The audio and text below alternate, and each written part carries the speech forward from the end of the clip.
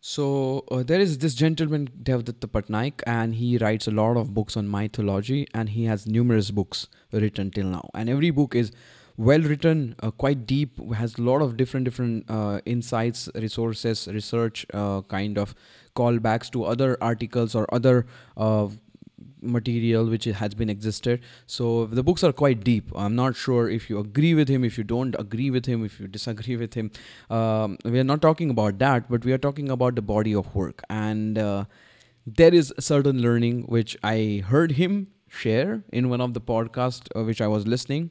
So in today's episode, we'll kind of talk about that and see if it fits us or if it can help us in building our creative work or in, in building our career or lifestyle or work style. So we'll talk about that in today's episode. So let's go.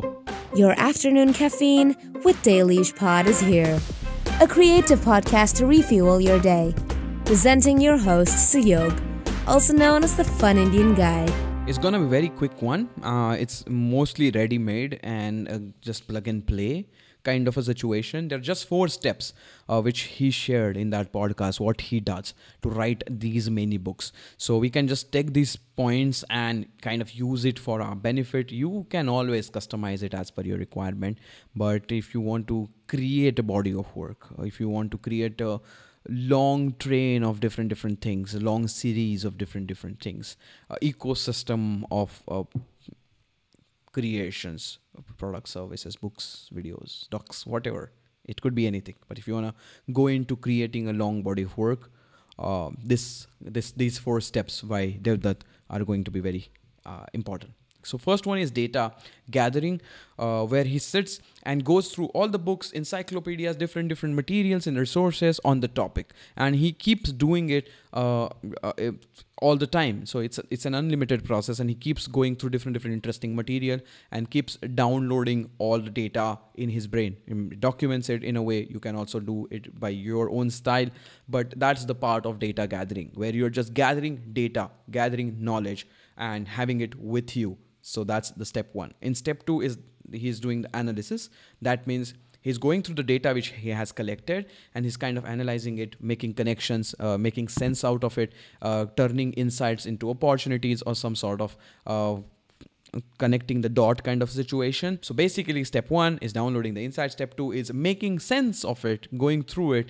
And uh, as I discussed this with you, we actually do similar things in design research and in the innovation workshops which we run or uh, which we do also under Futuring Now Lab. So that that that was a nice connection there, which I didn't realize before, but yeah, now it's right here coming back to his step step three is his world experience worldview his point of view. Uh, the data which he has gathered and made sense of he tries to put his own perspective in it his own point of view his own experience and try to connect and make more sense of it so that whatever he has gathered so far would make sense. Because if it doesn't make sense to him and his worldview and his experiences it won't stand as a good concept uh, for a book or not a good concept to share in general.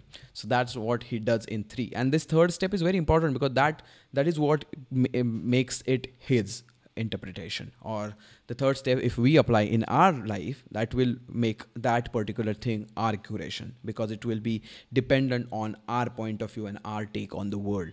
So the first and two uh, second step could be similar for you and me, but the third one will have your personality in your own uh, step and my personality in my step. So the third step is very important where you kind of link it to your experiences. And in the fourth step, you share the knowledge. So you package everything uh, by step one, step two, step three, and you share it with the world. Uh, in his case, he makes podcast, he makes books, he writes many books. Um, in your case, it can be a project, a creative project, a video, a document documentary, uh, essay series, or maybe a product or a service. It could be anything, anything you want to create.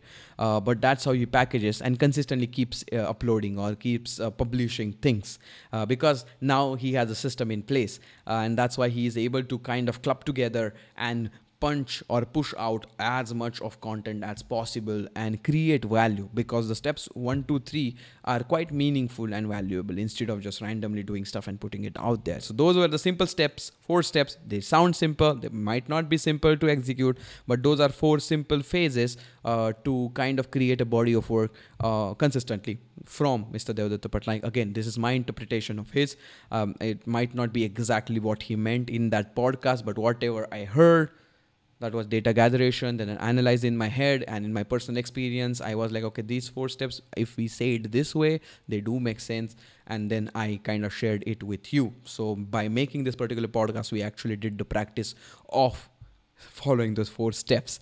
So I hope you found that interesting, and I'm pretty sure you will have some people around you who are trying to create something. It could also be a simple profile on Instagram, or they want to create reels for some particular topic, or they're trying to build their own uh, solo entrepreneurship or freelance practice, or they're a designer, they're trying to create their new series or something. Uh, they're creative, they're making new films or whatever. It could be anything. They're creating new startup or anything for that matter. I'm, I'm sure you might be having at least one person around you who is going through that. And I think it could be very nice as a gesture if you will go ahead and share this particular episode with them because they might find some sort of bits and pieces in this episode which can help them uh, look at their work in in certain way and can help them question it. I'm not saying they will have to follow these four steps. They can come up with whatever process they want but i think it will be really interesting for them as well. So go ahead and share this episode with that one person which you think uh, kind of would appreciate this particular document or podcast. That's all guys from this episode. I'll catch you in the next one. Till that time take care stay safe. Peace out if you like what we do, then make sure to follow Dailyish Pod wherever you listen to podcasts as well as on Instagram. For more visual experience, do subscribe to the Fun Indian Guy YouTube channel. Until next time, have fun.